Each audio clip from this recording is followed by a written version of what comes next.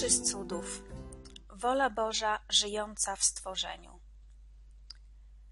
Luisa Picaretta pisze w piętnastym tomie Księgi Nieba 5 stycznia 1923 roku. Jezus wyszedł z głębi mojego wnętrza, wstał i oparł swoje stopy na moim sercu. I machając ręką, która bardziej niż słońce wysyłała światło, krzyknął głośno: Przyjdźcie, przyjdźcie wy wszyscy, aniołowie, święci, pielgrzymi, wszystkie pokolenia.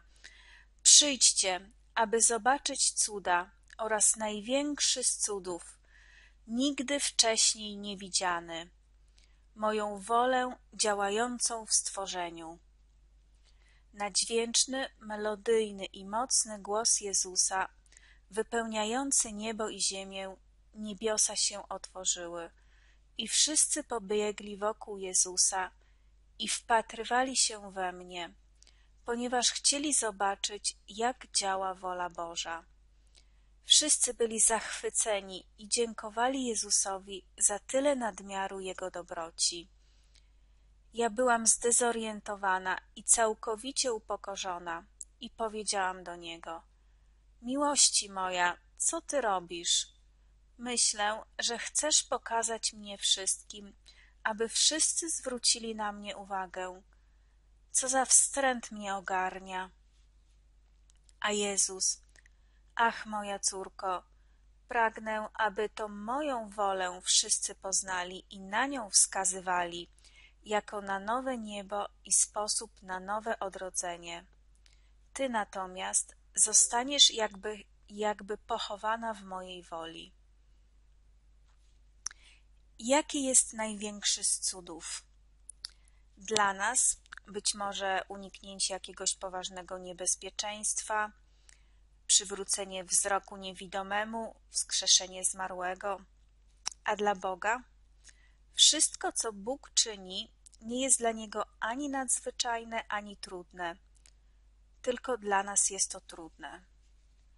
Największy z cudów powinien być dla Boga czymś niezwykłym, czymś bardzo trudnym i kosztownym, a to oznacza dokonanie czegoś, co zależy nie tylko od Niego, lecz także od stworzenia posiadającego wolną wolę.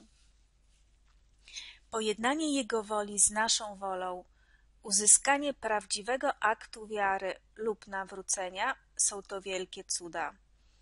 Ale to nie wystarczy. To, co dla nas jest cudem, ogranicza się do jednej lub do kilku osób i zdarza się w określonym momencie, a potem się kończy. Pozostaje tylko pamięć. Natomiast największy cud musi mieć zasięg uniwersalny i musi trwać wiecznie.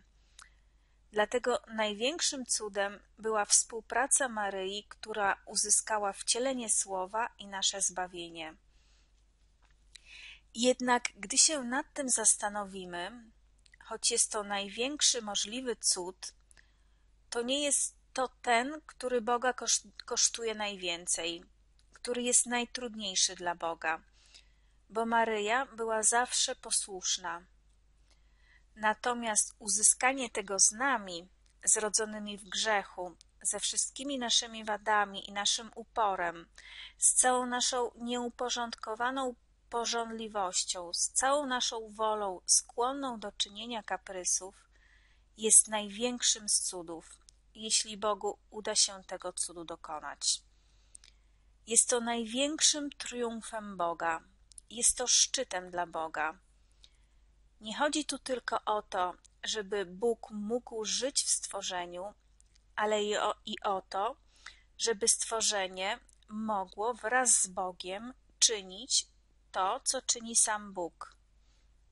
Czyli mm, pierwszym krokiem, wstępem, tak jakby, e, do życia w woli Bożej jest to, mm, kiedy Bóg żyje w stworzeniu, kiedy my pozwalamy, aby Jezus żył w nas swoim życiem. Czyli to jest to wszystko, te wszystkie modlitwy, które wypowiadamy, mm, przybądź wola Boża, myśleć w moim umyśle, mm, przybądź wolo Boża, przemawiać w moich słowach, mm, działać w moich czynach i tak dalej.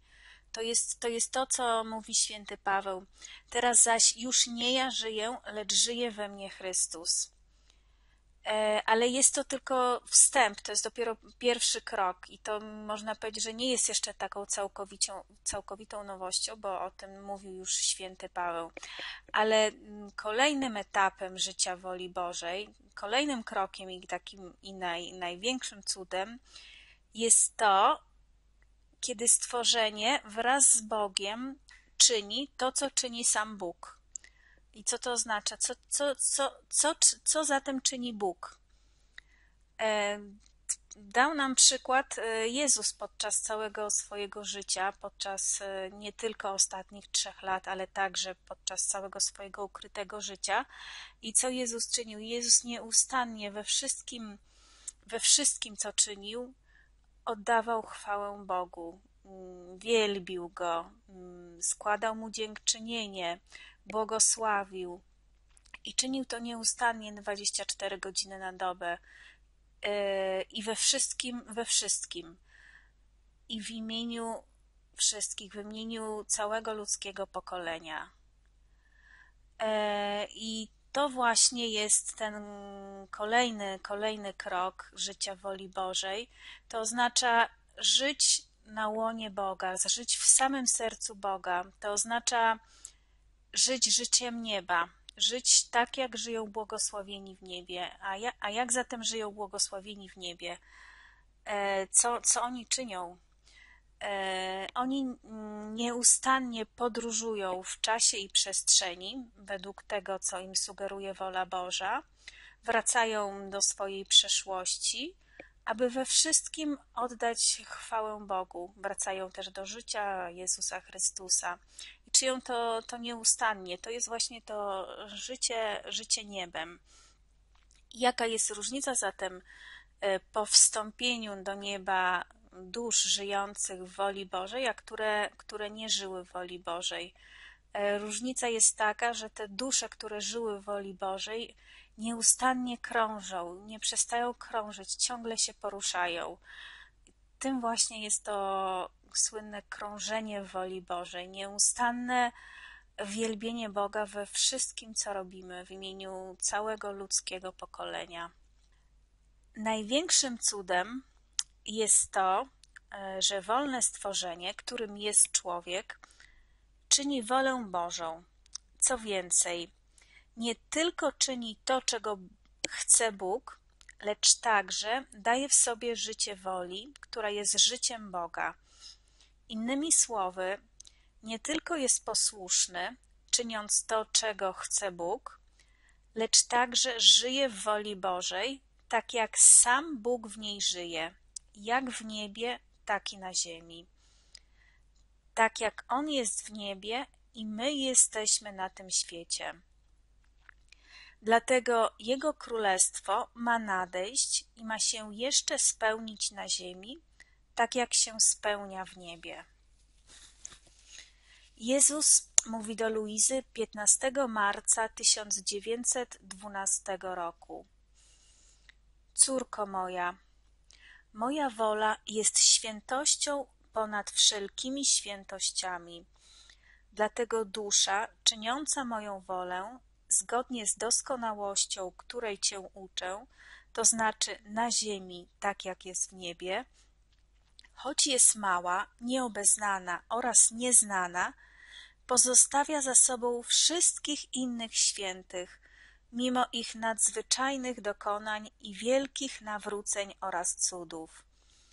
Co więcej, jeśli je porównamy, to dusze, które czynią moją wolę, będącą moim trzecim fiat, są królowymi, a wszystkie pozostałe są do ich usług. Wydaje się, że dusze, które czynią moją wolę, nic nie robią, a robią wszystko.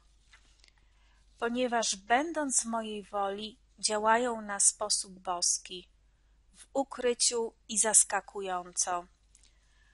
Są więc światłem, które oświetla, wiatrem, który oczyszcza, ogniem, który płonie, są cudami, które pozwalają czynić cuda.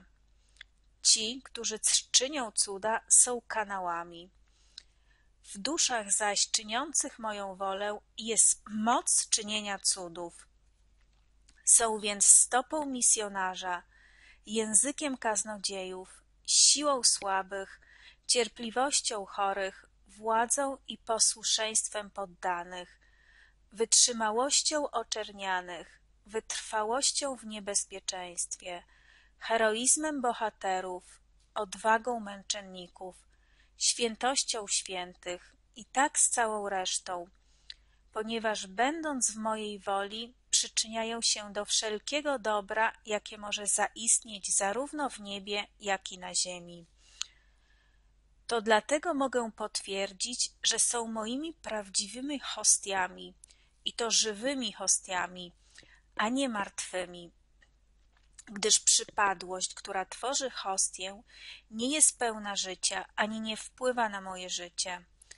Natomiast dusza, znajdująca się w mojej woli, jest pełna życia, a czyniąc moją wolę, wpływa i oddziaływuje na wszystko, co ja czynię. To dlatego te hostie, konsekrowane przez moją wolę, są mi droższe niż hostie sakramentalne. A jeśli ja żyję w hostiach sakramentalnych, to dlatego, żeby utworzyć sakramentalne hostie mojej woli. 12 listopada 1921 roku Luisa mówi W tej świętej woli nie widać żadnych cudów ani niezwykłych rzeczy, których stworzenia są tak bardzo łakome, że przemierzyłyby pół świata, aby zdobyć choćby jedną z nich. Wszystko natomiast toczy się między duszą a Bogiem. Jeśli stworzenia otrzymują dobra, to nie wiedzą skąd one pochodzą. Doprawdy, dusze te są jak słońce, które choć daje życie wszystkiemu, to nikt nie zwraca na nie uwagi. Kiedy o tym myślałam, powrócił mu Jezus, wyglądając okazale, i dodał: Jakie cuda, jakie cuda! Czyż czynienie mojej woli nie jest największym z cudów? Moja wola jest wieczna, jest cudem wiecznym, nigdy się nie kończy. To cud każdej chwili, w której wola ludzka stale się łączy z wolą Bożą. Wskrzeszanie zmarłych, przywracanie wzroku niewidomym i tym podobne nie są wieczne, kończą się. W porównaniu więc z wielkim i trwałym cudem życia w mojej woli, można je nazwać drobnymi i przemija, przemijającymi cudami. Nie zwracaj uwagi na te cuda. Ja wiem, kiedy są one korzystne i potrzebne. 22 października 1926 roku Luisa pisze Myślałam sobie o świętej woli Bożej i powiedziałam do siebie ale jakie wielkie dobro przyniesie to królestwo najwyższego fiat? A Jezus, jakby przerywając moją myśl jakby w pośpiechu, poruszył się w moim wnętrzu i powiedział do mnie Córko moja, jakie wielkie dobro przyniesie? Co będzie tym wielkim dobrem?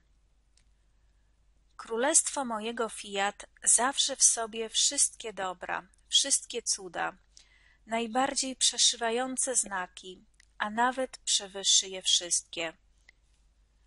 Jeśli cud oznacza przywr przywrócenie wzroku niewidomemu, wyprostowanie kulawego, uzdrowienie chorego, wskrzeszenie zmarłego i tym podobne, to królestwo mojej woli będzie zawierać ochronny pokarm. Każdy, kto do niego wejdzie, nie będzie w niebezpieczeństwie bycia niewidomym, kulawym lub chorym. Śmierć nie będzie już miała władzy nad duszą, a jeśli będzie miała ją nad ciałem, to nie będzie to śmierć, ale przejście.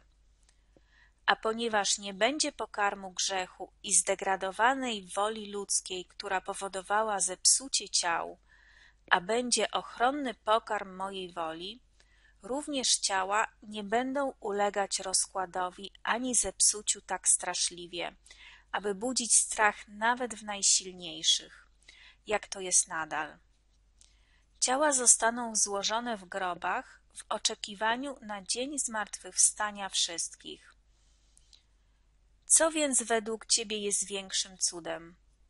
Przywrócenie wzroku biednemu niewidomemu, wyprostowanie kulawego, uzdrowienie chorego, czy posiadanie środka ochronnego, dzięki któremu oko nigdy nie straci wzroku, dzięki któremu można będzie zawsze chodzić prosto i być zawsze zdrowym. Sądzę, że większym cudem jest cud ochronny niż cud, który następuje po nieszczęściu.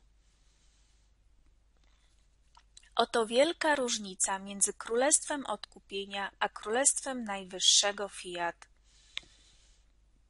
W pierwszym były cuda, jak nadal ma to miejsce dla nieszczęśników, którzy popadli jedni w jedno nieszczęście, a inni w drugie. Dlatego też ja dałem przykład, nawet na zewnątrz, udzielając wielu różnych uzdrowień. Były one symbolem uzdrowienia, które udzielałem duszom łatwo powracającym do swoich słabości. Drugie królestwo będzie cudem ochronnym, ponieważ moja wola posiada cudowną moc, tak iż ktokolwiek pozwoli jej się zdominować, nie będzie podlegał żadnemu nieszczęściu. Moja wola więc nie będzie musiała czynić cudów, ponieważ zawsze będzie utrzymywać stworzenia w zdrowiu, świętości i pięknie, godnych piękna, które wyszło z naszych twórczych rąk podczas stworzenia człowieka. Królestwo Bożego Fiat dokona wielkiego cudu wykorzenienia wszelkiego zła, wszelkich nieszczęść i wszelkich lęków, ponieważ nie dokona cudu w określonym czasie i okolicznościach, ale rozciągnie na dzieciach swojego królestwa akt ciągłego cudu, aby uchronić je od wszelkiego zła i wyróżnić jako dzieci swojego królestwa. Nastąpi wiele zmian, nie tylko w duszy, ale także w ciele, ponieważ grzech jest pożywką wszelkiego zła. Kiedy grzech zostanie usunięty, zabraknie pożywienia dla zła, tym bardziej, że moja wola i grzech nie mogą razem istnieć. Dlatego także natura ludzka dostąpi korzystnych skutków. Otóż, córko moja, mając przygotować wielki cud Królestwa Najwyższego Fiat, postępuję z Tobą jak z pierworodną córką mojej woli, tak jak postąpiłem z wszechwładną królową, moją mamą. Kiedy miałem przygotować Królestwo Odkupienia, Przyciągnąłem ją tak bardzo do siebie, utrzymywałem ją tak bardzo zajętą w jej wnętrzu, żeby móc wspólnie z nią utworzyć cud odkupienia. Bardzo było to potrzebne. Tyle rzeczy mieliśmy razem uczynić i odnowić oraz tylu dopełnić, że musiałem ukryć w jej zewnętrznej części wszystko, co można by nazwać cudem z wyjątkiem jej doskonałej cnoty. Dzięki temu sprawiłem, że była bardziej swobodna, aby przemierzać bezkresne morze odwiecznego fiat, uzyskać dostęp do boskiego majestatu i zdobyć królestwo odkupienia. Co by było większe? Gdyby niebieska królowa przywróciła wzrok niewidomym, mowę niemym lub inne rzeczy, czy do, dokonała cudu zstąpienia odwiecznego słowa na ziemię. Pierwsze były cudami pobocznymi, tymczasowymi i jednostkowymi. Drugi natomiast jest trwałym cudem, przeznaczonym dla wszystkich, pod warunkiem, że go zapragną. Dlatego te pierwsze cuda były niczym w porównaniu z tym drugim. Ona była prawdziwym słońcem, które przyćmiewając wszystko, ukryło w sobie słowo Ojca i zrodziło ze swojego światła wszystkie dobra, wszystkie efekty i cuda, które zostały wytworzone przez odkupienie. Ale jak słońce wytwarzała dobra i cuda i nie była zauważana ani nie wskazywano na nią, że to ona jest główną przyczyną wszystkiego. I rzeczywiście wszelkie dobro, które uczyniłem na ziemi, uczyniłem dlatego, ponieważ cesarzowa niebios posiadała, posiadała swoją potęgę w boskości i swoją potęgą sprowadziła mnie z nieba, aby oddać mnie stworzeniom. Teraz tak samo postępuję z Tobą, aby przygotować Królestwo Najwyższego Fiat. Niektórzy mogą zapytać, w jaki sposób wiele cudownych rzeczy tego Królestwa Bożego Fiat, które błogosławiony Jezus objawia temu stworzeniu, oraz dobra, które ono przyniesie, mogą przewyższyć stworzenie i odkupienie. A co więcej, królestwo to będzie koroną jednego i drugiego. Pomimo tak wielkiego dobra, z zewnątrz nie widać, nie widać w niej nic nadzwyczajnego, jako potwierdzenie wielkiego dobra tego królestwa odwiecznego fiat. Natomiast inni święci, bez tego wielkiego i wspaniałego dobra, dokonali cudów na każdym kroku. Jeśli jednak się odwrócą, by spojrzeć na moją drogą mamę, najświętszą ze wszystkich stworzeń, na wielkie dobro, które w sobie zawarła i które przyniosła stworzeniom, nie ma nikogo, kto mógłby się z nią równać. Dokonała wielkiego cudu poczęcia w sobie Bożego Słowa i cudu dania Boga każdemu stworzeniu. A wobec tego cudu dania stworzeniom odwiecznego Słowa, cudu, którego nikt nigdy nie widział ani nie słyszał, wszystkie inne cuda połączone razem są małymi płomieniami wobec słońca. Kto ma dokonać tego, co większe, nie potrzebuje czynić tego, co mniejsze. Tak też wobec wielkiego cudu królestwa mojej woli, królestwa, które zostanie przywrócone pośród stworzeń, wszystkie pozostałe cuda będą małymi płomieniami w obliczu wielkiego słońca mojej woli. Każde słowo, prawda i przejaw o niej jest cudem, który wyszedł z mojej woli, jako środek ochronny na wszelkie zło i przy, przywiązujący stworzenia do nieskończonego dobra, do większej chwały, do nowego w pełni boskiego piękna. Każda z moich prawd o mojej odwiecznej woli zawiera w sobie niezwykłą moc i cnotę, większą niż gdyby zmartwy, zmarły zmartwychwstał, trędowaty został uzdrowiony, niewidomy przejrzał albo niemy przemówił. Ponieważ moje słowa o świętości i mocy mojego fiat skrzeszą duszę, tak iż powrócą do swojego źródła. Uzdrowią je z trądu, który wytworzyła ludzka wola. Dadzą im wzrok, aby mogły ujrzeć dobra królestwa mojej woli ponieważ dotychczas były jakby ślepe. Udzieli głosu wielu niemym, którzy choć potrafili powiedzieć wiele rzeczy, jednak byli jak niemi tylko dla mojej woli, nie mieli dla niej słowa. A w dodatku czego im nie przyniesie wielki cud mogący obdarować każde stworzenie wolą Bożą, która zawiera wszelkie dobra, gdy będzie ona w posiadaniu dzieci swojego królestwa? to dlatego sprawiam, że jesteś całkowicie pochłonięta pracą nad moim królestwem.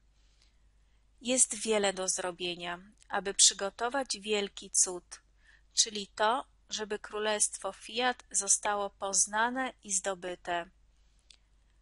Bądź więc uważna w przekraczaniu bezkresnego morza mojej woli, tak aby między Stwórcą a stworzeniem zapanował porządek, a w ten sposób będę mógł za Twoim pośrednictwem dokonać wielkiego cudu, tak aby człowiek powrócił do swojego źródła, z którego się wywodzi.